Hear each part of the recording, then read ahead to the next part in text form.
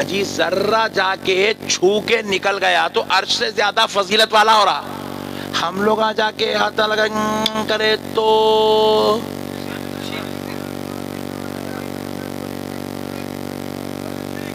जिहालत है बदअकीदगी है, गुनाह अजीम है। आपने दीन को बदनाम कर दिया। अब एक बात मैं आपको और एक मसला समझाता हूँ। अब ममता बनर्जी है। आप मुसलमान जो है, उनको एक रिप्रेजेंट करना चाह रहे हैं। अपनी तरफ़ उनको माइल करना चाह रहे हैं, अपने लिए इस्लाम की क्वालिटीज बताना चाह रहे हैं। क्या करते मस्जिद को लेके जाते बोलो भाई। मस्जिद को लेके जाते औरत को कैसा लेके जाएँगे? मस्जिद को इमाम साहब का आवाज़ उठा कर नमाज़ पढ़ा था उसको। मौजन साहब के पास उठा रहा करके ममता बनर्जी को नमाज़ पढ़ा दे। मोदी साहब को आप जो है मुसलमानों के लिए दावत देना चाह रहे हैं। क्या करते हैं मोदी साहब को? आप लेके आके दिल्ली की शाही जामा मस्जिद में मोदी साहब, जरा मेरे पास उठा रहे नमाज़ पढ़ो। अल्लाह अकबर। नमाज़ पढ़ाते उसको। क्या करेंगे आप? आप बोलते, साहब, आप आइए। मैं आपको अजमेर बुलाता हूँ। मैं आपको गरीब नवाज़ की जियारत कराता हूँ। गरीब नवाज़ की दुआ आपको दिला देता हूँ। दरगाहें आपकी पहचान है। आपके मुसलमान होने का तारुफ है। क्योंकि आपको मालूम होना चाहिए कि मस्जिद में इमाम साहब काफिर को आने नहीं देते। मदरसे में मुफ्ती साहब काफिर को बैठने नहीं देते। फिर अब काफिर को आप बुलाएँगे कहाँ? एक ही तो दर है औलिया अल्लाह का जहाँ जैसे मुसलमानों को नवाजा जाता है वहाँ खैरों को भी वैसे ही सरफराज किया जाता है। बेशक सुबहान ये एक ही तो आपके इस्लाम की आपके मुसलमानों की एक जो है पहचान है। आप वहाँ पे ही आप जो है बोल रहे हैं कि दरगाह छरा में तू मुसलमान कुछ नको जाओ बोल रहा हो ले तो फिर तू वन हिंदुओं को क्या दावत देगा दीन की? तू खैरों को क्या दीन की दावत देगा? क्या हुआ बेटे?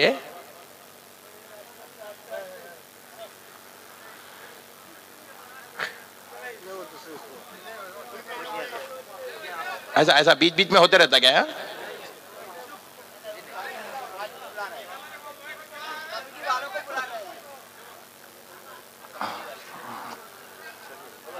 एक बार दरूद पाक पढ़ी अल्लाह सल्ली अला अल्लाहुम्मा सल्ली अला सैयदना मोहम्मद सैयदना मोहम्मद। मुबारक सल्लम। सलाम रसूल सलाम या ना मैं देख रहा हूँ आया क्या उसके आँख पे बोल के न्या न्या। न्या जिन न्या। नहीं होता बाज खुद। जिन्नात है क्या देखना पड़ता। है तो फिर अपन उतार देंगे नो प्रॉब्लम मगर नहीं है। नहीं है मैं तेरे आँख पे जिन नहीं है तू टेंशन रखो ले। दीवाना आके जलसे में डिस्टर्ब कर रहा जी पाजी दीवाना है कौन सी की बीजेपी की पार्टी का दिख रहा है इन्हें।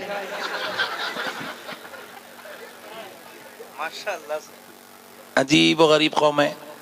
जलसा चल रहा बयान चल रहा आके पुकार रहा। अरे मैं बोला ये क्या होगा इसको जीनू ना आ गया आँख पे इसके क्योंकि वलियों का ज़िक्र चल रहा ना तो कुछ भी हो सकता। चलिए नो प्रॉब्लम अब दूसरी बात सुन लीजिए आखिरी अहम बात इस मौजू पर वलियों की शान अजमत पर। कि देखो मेरे प्यारे बुज़ुर्ग और दोस्तों औलिया अल्लाह की जियारतें करना उनकी मज़ारात पे जाना ना ये शिरक है ना बिदात है ना हराम है ना नाजायज है। क्या कहना वाह? बल्कि खुदा की कसम ये खलूब की इसलाह का मकाम है। ये फयूजो बरकत हासिल करने की जगह है। ये अल्लाह ताला के खुर्ब को पाने की जगह है। क्योंकि जब अल्लाह के वली दुआ कर देते हैं तो मरने वालों को भी ज़िंदगी नसीब हो जाती है। इनकी दुआओं में अल्लाह ने वो तासीर रखा है। इनकी दुआओं में वो तासीर है। इसलिए मेरे भाइयों, वलियों से टेंशन नहीं लेना। वलियों से टेंशन, बोलिए, वलियों से टेंशन लिए तो नक्शबंदी साहब से झगड़ा नहीं है। वली के खिलाफ गए तो बंगाल वालों से झगड़ा नहीं है। आप अगर वलियों से दुश्मनी करेंगे तो इसके अंदर जो है आपको किसी जो है आम आदमी से किसी से झगड़ा नहीं है, किसी मौलाना मुफ्ती साहब से झगड़ा नहीं है। कान खोल के सुन लो, हदीस कुदसी है, बुखारी शरीफ में हदीस है। अल्लाह का कौल है, ज़ुबान रसूल अल्लाह की इसको हदीस कुदसी कहा जाता। प्यारे मुस्तफ़ा इरशाद फरमाते हैं, मन आद अली वलियन फकत आजन जो मेरे वलियों से दुश्मनी करता है उससे कह दो कि वो तैयार हो जाए। अल्लाह उससे जंग करने वाला है। अल्लाह उसको ऐलान जंग देता है। अल्लाह कह रहा है, मैं जंग करूँगा उसके साथ। जो मेरे वलियों से दुश्मनी करेगा। अब जिसको अल्लाह से जंग करना है बोल लेते फिर खिलाफ, हमारे बाप का क्या जाने वाला है?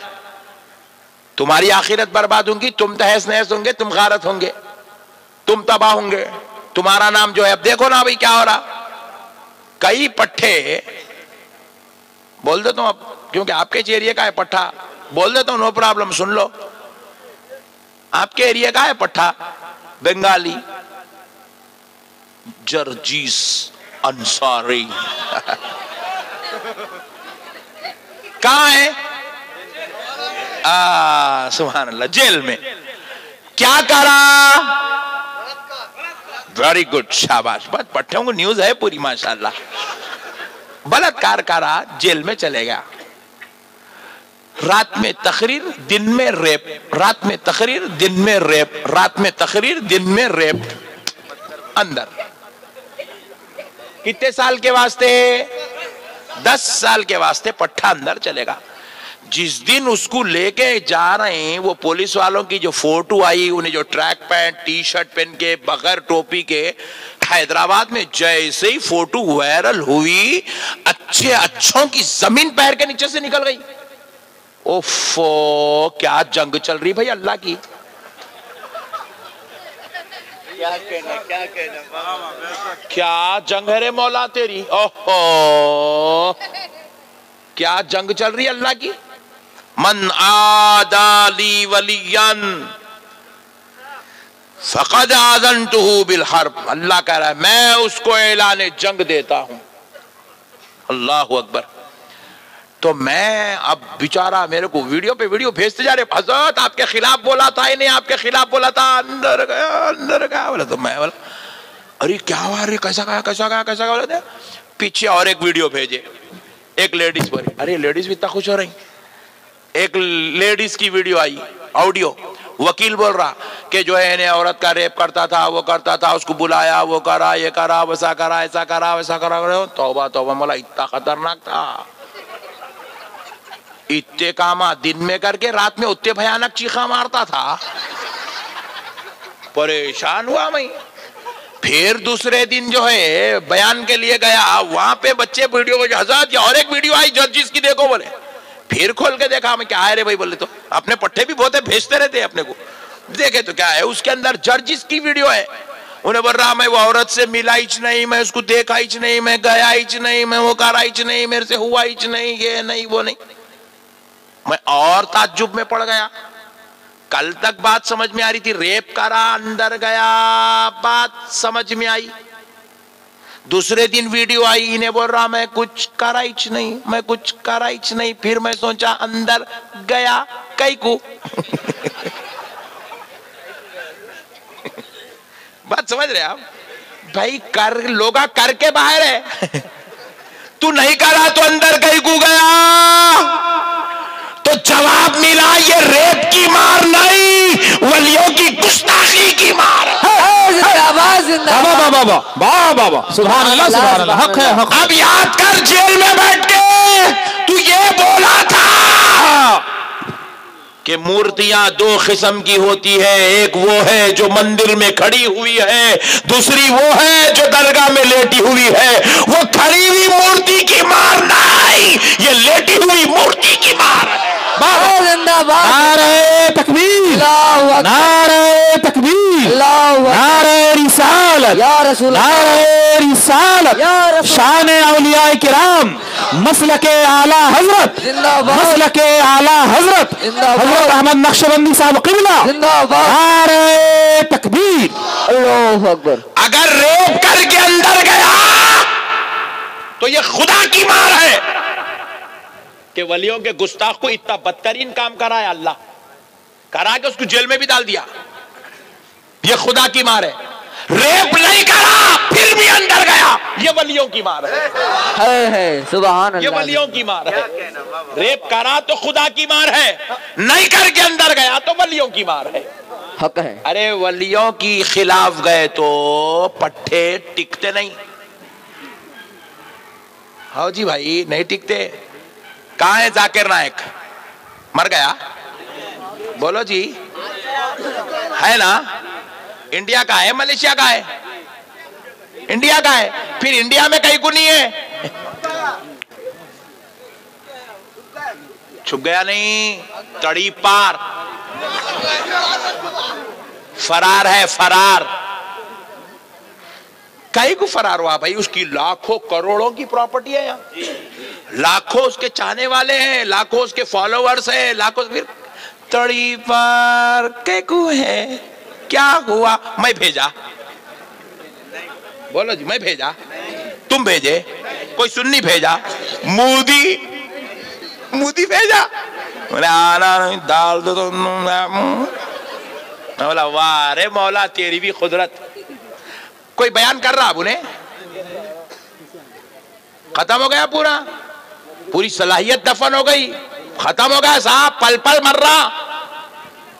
पल पल मर रहा। कौन मार रहा? कान खोल के सुन ले खुदा की कसम वलियों की गुस्ताखी मार रही है तुझे। बेशक बेशक। औलिया की दुश्मनी ने तुझे ज़िंदगी में ही अजाब दिखा दिया। गारत हो गया। आज कोई मुल्क वाला मुँह लगाने तैयार नहीं है साहब। तैयार नहीं है। खुद मलेशिया की कंट्री स्पीच देने की परमिशन नहीं दे रही। खुद मलेशिया की कंट्री अपने पास लोगों को बहर वाले राय जाओ खामोश बयान आना कुछ नहीं। आप हम्म, हम्म, बोले। वलियों की मार पड़ती साहब।